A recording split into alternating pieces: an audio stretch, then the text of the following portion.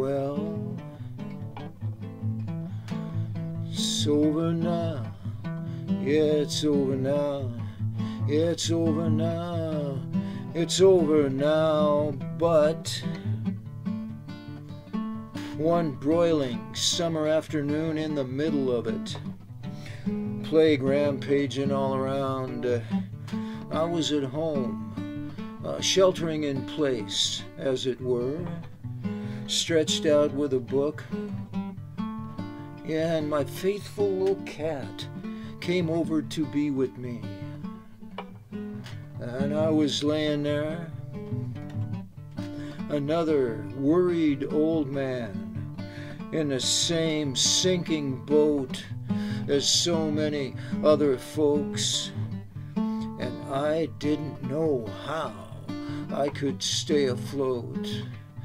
And I was thinking, oh, I was sweating and thinking, yeah, sweating and thinking, how? how. Yeah, how my gray hair says rest this lockdown afternoon. Oh, but it's 91 degrees in my living room. Oh no, couch, but an old mattress and a blanket across which my back sticks with sweat. Yeah, my back sticks with sweat. And I don't know how long till sunset. All time like a trap closing in on me.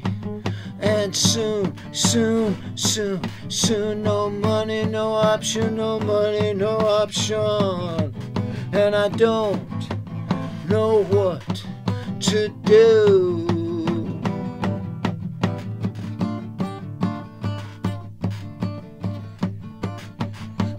Balanced on the edge, learning to forget. Reading mystic translations with a cat, a little Annie cat, yes, a cat. Asleep on my chest. Oh, of all possible moments, this, yeah, this is the one, and the next is yet to come.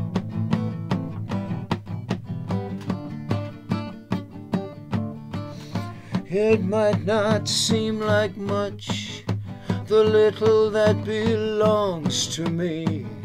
Oh, no diamond in the rough, but I came upon it honestly, oh, honestly enough. Yeah, honestly enough. Oh, then it happened, unexpected, oh, not the way I thought. It is locked down taking everything I've got. Yes, taking everything I got.